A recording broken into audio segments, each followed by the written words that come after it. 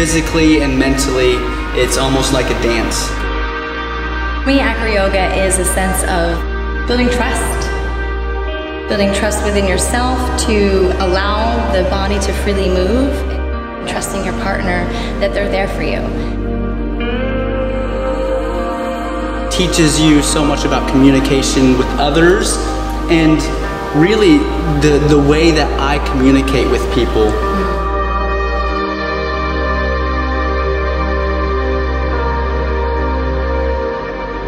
A good time and a fun way to meet people and connect.